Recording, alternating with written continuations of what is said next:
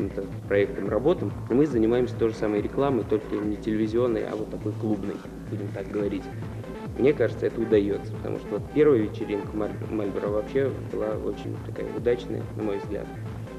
Ну и вообще такие вот клубные проекты при поддержке э, каких-то там фирм, организаций, людей и творческих коллективов могут существовать какой-то такой клубный мир свой, отдельный, но тем не менее достаточно интересный, яркий приятный для восприятия.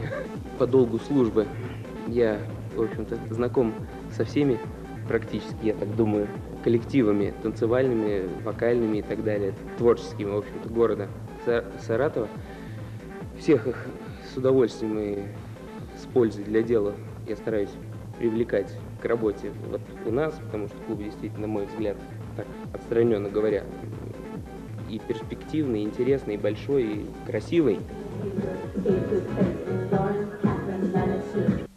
Ради справедливости стоит добавить, что на вечеринке в Джуманже, которую устроила торговая марка Мальбро, кроме того, о чем мы уже рассказали, симпатичные девушки в красных стилизованных костюмах без ограничения угощали гостей сигаретами.